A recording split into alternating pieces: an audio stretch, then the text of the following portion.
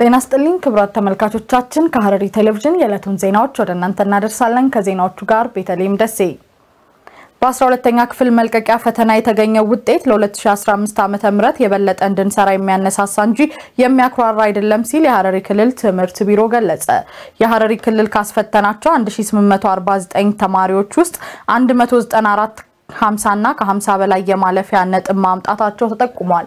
ዘገባው የነኢማ አብደላ ነው። ተጨማሪውን አያንቱ አህመድ በ2014 ዓ.ም በተሰጠው ሀገር አቀፍ የ12ኛ ክፍል መልቀቂያ ፈተና ሐረሪ ክልል ካስፈተናቸው ተማሪዎች በብዛት በማሳለፍ ከአዲስ አበባ መስተዳደር ቀጥሎ እንደ ሀገር ሁለተኛ ደረጃ ላይ እንደሚገኝ ትምህርት ሚኒስቴር ባወጣው መረጃ አስታውቋል። የዘንድሮ ሀገር አቀፍ ፈተና ለየት ያለ የአፈታተን ስልትና ሂደት የታየበት በመሆኑ ተማሪዎች የዘሩትና ያጨዱት፣ ይህ ማለት በትምህርት ቤቶች ዙሪያም የተሰራው ስራ ይህንኑ ይመስላል የሚሉት በትምህርት ቢሮ የትምህርት ቤቶች መሻሻል ዳይሬክቶሬት ዳይሬክተር አቶ በዳሳ ገመዳ አሁን የተገኘው ውጤት ለ2015 ዓ.ም የበለጠ እንዲሰራ የሚያነሳሳ ነው እንጂ በቂ ነው ማለት አይደለም ሲሉ ገልጸዋል። አካ ብዮለሳት ቀብጢን ኩመ ለማፍ ቁደ ፉር ከነሜ እንደ ሀገር አቀፍ በ2014 ዓ ም ሐረሪ ክልል ሁለተኛ ደረጃ ላይ ነው ከአዲስ አበባ መስተዳደር ቀጥሎ። ይህ ትልቅ ደስታ ነው። ለወደፊት ከዚህ የበለጠ እንድንሰራ የሚያነሳሳ ውጤት ነው። ይሁን እንጂ የተገኘው ውጤት በቂ ነው ወይ የሚለውን ማየት አለብን። ይህ የተገኘው ውጤት የፈተናው ሂደት ከኩረጃ ነጻ በሆነ ውጤት ነው የተሰጠው። ስለዚህ ሁሉም የዘራውን ነው ያጨደው።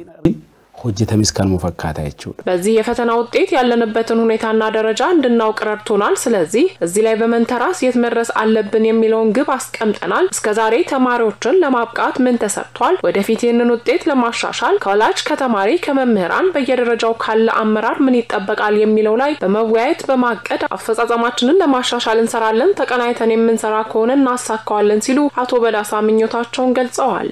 bakka irra jirru barree jirra irra jirra status maal irra jira benchmarking keenya maal fakkaata ያለንበትን ቦታ አውቀናል። ስለዚህ እዚህ ላይ ቆመን ወዴት መሻገር አለብን፣ የት መድረስ ይኖርብናል የሚለውን ግባችንን አስቀምጠናል። ግን እስካሁን ተማሪዎቻችንን ለማብቃት የተሰራው ስራ ምን ይመስላል? ወደፊት ይህንን ውጤትስ ለማሻሻል ከተማሪ ወላጅ ምን ይጠበቃል? ከመምህራን ከአመራሩ የሚለውን መለየት፣ አፈጻጸማችንን በመገምገም በ2015 ዓ ም ክልላችን ጥሩ ውጤት እንዲያመጣ ካለፈው ልምድ በመውሰድ ጠንክረን በመስራት ጥሩ ውጤት እንዲመጣ ፈጣሪም ያግዘናል። እኛ ስራችንን ስለምናውቅ ይሳካልናል። በዚህም አይነት ተቀናይተን የምንሰራ ከሆነ የተሻለ ውጤት እንደምናስመዘግብ ተስፋ አለኝ። ቀብጢ ጋሪን ገልሜስነ ከንጀው አብዲ ቀምና ህብረተሰቡም ከጎናችን ሆኖ እንደቀደሙ ጊዜያቶች ሊደግፈን ይገባል ሲሉ መልእክታቸውን አስተላልፈዋል። መምህራን ገንዘብ ተቀብለው ማርክ መጨመር፣ የትምህርት ሰዓታቸውን በአግባቡ አለመጠቀም እንዲሁም የፈተና ስርቆት በትምህርት ቤቶች ከሚታዩ ሙስናዎች መካከል ናቸው ሲሉ ተማሪዎች፣ መምህራንና የትምህርት ቢሮ የስነ ምግባር መኮንን ተናገሩ። በትምህርት ቤቶች የሚታዩ ሙስናና ብልሹ አሰራርን ለመከላከል ከተማሪ ወላጅ እስከ ከፍተኛ አመራር የጋራ ጉዳያችን ሊያደርጉት ይገባልም ተብሏል። አያንቱ አህመድ ተጨማሪውን ታቀርበዋለች። በትምህርት ቤቶች የሚታዩ ሙስናና ብልሹ አሰራርን ለመከላከል ከተማሪ ወላጅ እስከ ከፍተኛ አመራር የጋራ ጉዳያቸው ሊያደርጉት ይገባል ተብሏል። ብዙውን ጊዜ ትምህርት ቤቶች ከሙስና የጸዱ ናቸው የሚል እሳቤ ይስተዋላል። ይሁን እንጂ የፌዴራል ጸረ ሙስና ኮሚሽን ባስጠናው ጥናት በትምህርት ሴክተሩ በርካታ የሙስና ስጋቶች እንዳሉ ያመላክታል። ከሐረሪ ብዙኃን መገናኛ ኤጀንሲ ጋር ቆይታ ያደረጉት አንዳንድ የክልሉ ተማሪዎችና መምህራን እንዲሁም የክልሉ ትምህርት ቢሮ ስነ ምግባር መኮንን መምህራን ገንዘብ ተቀብለው mark መጨመር የትምህርት የትምህርት ጊዜያቸውን ማባከን፣ የተማሪዎች ፈተና ስርቆትና ሀሰተኛ የትምህርት ማስረጃ በትምህርት ቤቶች ዙሪያ የሚታዩ ሙስናዎች መካከል እንደሚገኙ ተናግረዋል። በትምህርት ቤት ደረጃ ብዙ ሙስናዎች አሉ። ለምሳሌ በትንሹ ከመጀመር ለመጀመር ኩረጃ፣ የተማሪ ኩረጃ፣ በሰዓቱ አለመግባት፣ አለመውጣት፣ ያለ ሰዓት ለመግባት ብር ከፍለው ምናምን ለዘበኛ የሚገቡ ተማሪዎች አሉ። አስተማሪዎችም ሊሆን ይችላል። ብቻ በተለያየ መንገድ አለ። ትምህርት ቤት አካባቢ ውስጥም በትውውቅ ፈተና ሊወጣ ይችላል። እንደገና ይሄ ቴክኖሎጂ አለና በሱም የሚላላኩ ተማሪዎችም አሉ። ብር እንሰጣለን ለአስተማሪ ብር የሚሰጥ ተማሪ አለ ማለት ትኮርጃለች። ሳኮርጂም ውጤትሽ አናሳ ነው። ከዛ ለአስተማሪው ብር በመክፈል ያንን ውጤት እንዲያስተካክልልሽ ማድረግ ገንዘብ ቆጥሮ ስለሰጠ አይደለም። በትውልዱ ላይ የተሰጠንን ሰዓት በአግባቡ ያለመጠቀማችን ለራሱ እሱ ከብር አይተናነስም። ራሱ እሱ ሙስና ነው። አንድን ሀገር ማህበረሰብ በትክክል የመግለጫው ትልቁ ቦታና መስሪያ ቤት ትምህርት ቤት ነው ብዬ አምናለሁ። ትምህርት ቤት ላይ የተለማመዱን ውጤት ነው እዛ ውጭ ላይ ማህበረሰብ ላይ የሚያስ cheating normal ሆኗል። ለምሳሌ ኮረጃ ማስኮረጅ የምትይባቸው ይህ ዛሬ ጠዋት የኮረጀ ሰውዬ ነገ ጠዋት ማናጀር ቢሆን ምንድን ነው የሚያደርገው? አንዳንድ መምህራኖቹን ባህሪያት ትንሽ ስነምግባር ችግር ያለባቸው መምህራንም የተለያየ ጥቅማ ጥቅም ከተማሪዎች በማግኘት በመውሰድ የውጤትን የማሻሻል ሁኔታ መጀመሪያ ካስተላለፈው ውጪ መልሶ ከእንደገና በስነ ብሎ የመስጠት ሁኔታ ነገር አለ። በትምህርት ቤቶች የሚታየው ሙስና የነገ ሀገር ተረካቢ ዜጎች ላይ የሚያሳድረው አሉታዊ ተጽዕኖ ከፍተኛ በመሆኑ በዘርፉ የሚታየውን ሙስናና ብልሹ አሰራርን ከተማሪ ወላጅ እስከ ከፍተኛ አመራር የራሳቸው ጉዳይ ሊያደርጉት ይገባልም ብለዋል። ቁርጠኛ አመራር በቦታው ላይ ካለ ይቀጥላል እስከ መምሩ እና ይሄንን ነገር ወደ ታች ለማስረጽ አመራሩ የራሱ ሚና መጫወት አለበት። ያው ከአስተዳደር ነው መጀመሪያ መሰራት ያለበት። ከትምህርት ቢሮም ይሰራል። እንደገና ይሄ አስተማሪዎቹን ማሰልጠን፣ ማስተማር የሙስና ጥሩ እንዳልሆነ አርአያ እንዳልሆነ መንገር መጀመሪያ ትምህርት ቤት ላይ መስራት ነው። ያው አስተማሪው ሙሰኛ ከሆነ ግን ህጎችን ማጥበቅ ነው ህጎችን ማጥበቅ በትምህርት ቤት ላይ ደግሞ ብቁ የሆኑ አስተማሪዎችን እንዲመጡ ማድረግ። ምክንያቱም ብቁ አስተማሪ ሲኖር እሱ ሙሰኛ አይሆንም። እሱ ሙሰኛ ካልሆነ ደግሞ ተማሪውን ያንጸዋል። ትክክለኛ ፈተናዎችን መስጠት። አንዳንዴ እኮ አለ ሙስና ሲባል እኮ ፈተናዎች ማሰረክ ብቻ እኮ አይደለም፣ የማይመጥኑ ፈተናዎችን ማይመጡ አሉ። እዚህ ሙስና ነው አይደለም። መምህራን የዓለም ብርሃን ይባላል። ስለዚህ መጀመሪያ ከኛ መምህራን የሚጠበቀው ምንድን ነው? ዜጎች በስነ ምግባር የታነጹ ዜጋ ለመፍጠር መጀመሪያ መምህራኑ አርያ መሆን አለበት። ሁሉም ዜጋ የሆነ በትምህርት ሴክተር ያሉ ባለሙያዎች ሁሉም በዚህ በሙስናና ብልሹ አሰራር ላይ የጋራቸው ስራ ሊያደርጉት ይገባል። በመጨረሻም ኃላፊነታቸውን በአግባቡ በማይወጡ መምህራንና የትምህርት ቤት አመራሮች ላይም እርምጃ እንደሚወሰድ ተጠቅሷል። ዩኒቨርሲቲዎች ከሌብነት ነጻ የሆነ የግዢ ስርዓት እንዲኖራቸው እየተሰራ መሆኑ ተገለጸ። የመንግስት ግዥና ንብረት ማስወገድ ባለስልጣን ከሀሮማያ ዩኒቨርሲቲ ጋር በመተባበር የከፍተኛ ትምህርት ተቋማት ግዢ ዙሪያ ምክክር ተካሂዷል። የምክክሩ ዋና ዓላማ ዩኒቨርሲቲዎች ከሙስናና ብልሹ አሰራር የጸዳ ግዢ ስርዓት እንዲኖራቸው ማድረግ መሆኑንና ከዚህ በፊትም መሰል ውይይቶችና ስልጠና በተለያዩ ዩኒቨርሲቲዎች ውስጥ መስጠታቸውን የመንግስት ግዥና ንብረት ባለስልጣን ዋና ዳይሬክተር ሀጂ ኢብሳ ገልጸዋል። ከሁለት ዓመት ጀምሮ በተለይ ዩኒቨርሲቲዎች ሞዴል ሆኖ አርአያ ሆኖ ከሌብነት የጸዳ ግዢ እንዲፈጽሙና ያ የተቆጠበው ገንዘብ ደግሞ ተመልሶ ለሌላ ፕሮጀክት እንዲውልልን ለማድረግ አንደኛ በቦንጋ ዩኒቨርሲቲ ላይ ስልጠና ሰጥተናል። በባህር ዳር ዩኒቨርሲቲ ላይ ስልጠና ሰጥተናል። እዚህ ላይ ባለፈው ሐምሌና ነሐሴ ሰጥተናል። ግዢ በሁለት መንገድ የሚፈጸም መሆኑን የገለጹት ዋና ዳይሬክተሩ አንደኛው manual ሲሆን ሁለተኛው ኤሌክትሮኒክስ ግዢ መሆኑንም ገልጸዋል። ይበልጥ ቀልጣፋና ታማኒነቱ የበለጠ የሆነው ኤሌክትሮኒክስ ግዢ በአሁኑ ጊዜ በርካታ ተቋማት ላይ ተግባራዊ እያደረገ መሆኑን ገልጸው ከነዚህ አብዛኛው ከፍተኛ ትምህርት ተቋማት መሆኑንም ገልጸዋል። በዚህ ልክ አንደኛ በ manual ሁለት ግዢ ነው አሁን በሀገር ውስጥ እየተደረገ ያለው። አንደኛው ድሮ በተለመደው በ manual የሚገዛ ግዢ ነው። ሁለተኛው ጊዜ ደግሞ በመንግስት ኤሌክትሮኒክ ግዢ ወይም electronic government procurement በሚባለው ነው። ይሄን electronic government procurement ስራ ላይ ካዋሉ ሰባ አራት ዩኒቨርሲቲ መስሪያ ቤቶች ውስጥ ወደ ሁለት ሶስት የሚሆኑት ዩኒቨርሲቲዎች ናቸው።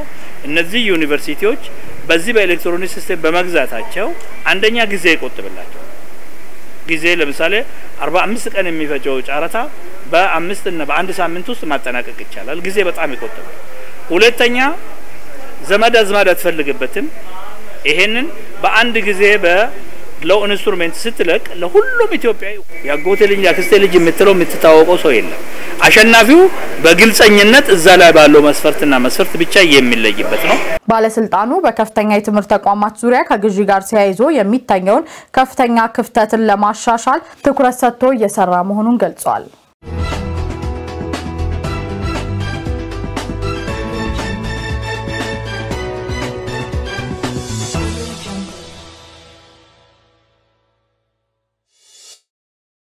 ወደ ሀገር አቀፍ ዘገባዎች አለፍን። ጠቅላይ ሚኒስትር አብይ አህመድ ከሚኒስትሮች ምክር ቤት አባላት ጋር የስድስት ወራት አፈጻጸም ግምገማ ማድረግ ጀምረዋል። በሌላ ዜና የሀገራዊ ምክክር ግብ እውነትነትን በመፈለግ መግባባትና በኢትዮጵያ ዘላቂ ሰላም መፍጠር በመሆኑ የተደበቁ ሀሳቦች እንዲወጡ ለማበረታታት የሀሳብ ውክልና እንደሚስተናገድ የሀገራዊ ምክክር ኮሚሽን ኮሚሽነር ዶክተር ዮናስ አዳዬ ገለጹ። ምስጋናው ኃይሉ ይህንና መሰል ሀገር አቀፍ ዘገባዎችን በተከታይነት ያቀርበዋል።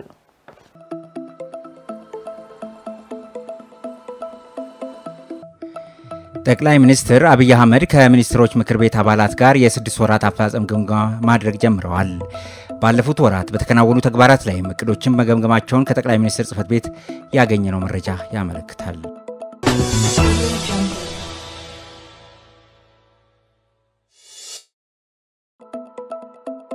የሀገራዊ ምክክር ግብ እውነት በመፈለግ መግባባትና በኢትዮጵያ ዘላቂ ሰላምን መፍጠር በመሆኑ የተደበቁ ሀሳቦች እንዲወጡ ለማበረታታት የሀሳብ ውክልና እንደሚያስተናግድ የሀገራዊ ምክክር ኮሚሽን ኮሚሽነር ዶክተር ዮናስ አዳይ ገለጹ።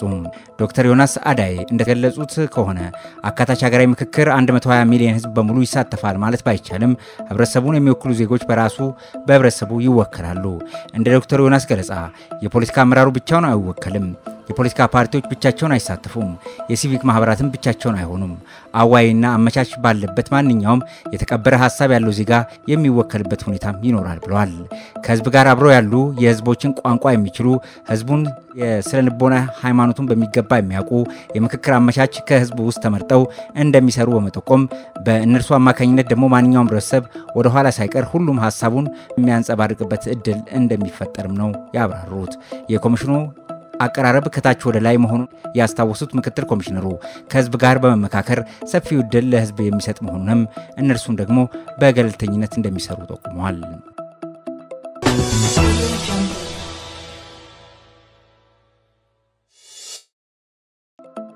የተባበሩት መንግስታት ድርጅት ሁሉንም አማራጮች በመጠቀም በጦርነት ለተጎዱ ዜጎች የሰብአዊ ድጋፍ እያደረገ መሆኑን አስታወቅም። ምግብና ምግብ ነክ ያልሆኑ ድጋፎችን፣ የአየር ትራንስፖርትን ጨምሮ ሁሉንም አማራጮች በመጠቀም በአማራ፣ አፋር እና ትግራይ ክልል ለሚገኙ ዜጎች ድጋፍ እያደረገ መሆኑን አስታውቋል። ባለፈው ሳምንት በተደረገው ድጋፍም በአፋር ክልል 138 ዜጎች፣ በአማራ 149 ሺህ እና በትግራይ ክልል 2300 ዜጎች የሰብአዊ ድጋፍ መድረሱን በትዊተር ገጽ አስፍሯል። የሰብአዊ ድጋፍ አጋሮች ቅድሚያ አስቸኳይ ድጋፍ የሚሹትን በማስቀደም እያደረሱ ያሉትን ሰብአዊ ድጋፎች አጠናክረው መቀጠላቸውን የተባበሩት መንግስታት አስታውቋል።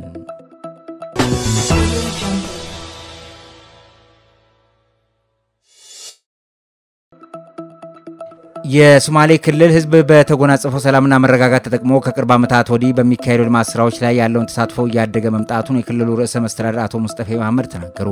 ርዕሰ መስተዳድሩ በክልሉ ወቅታዊ የሰላምና መረጋጋት ሁኔታና ከለውጡ ወዲህ የተመዘገቡ የልማትና የመልካም አስተዳደር ተግባራት ዙሪያ የህዝብ ተሳትፎ ላይ ማብራሪያ ሰጥተዋል።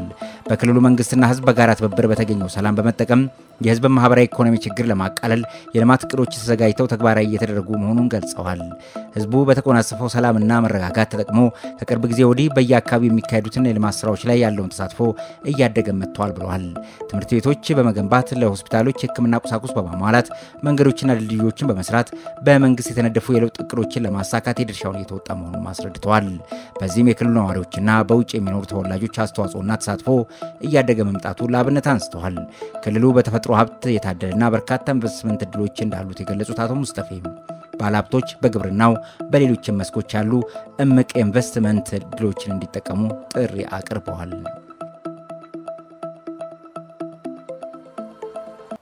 ክቡራት ተመልካቾቻችን ከሐረሪ ቴሌቪዥን ለዕለቱ የያዝንላችሁ ዜናዎች ተከታተላችሁን ይመስል ነበር። አብራችሁን ስለቆያችሁ ከልብ እናመሰግናለን። ብሩክ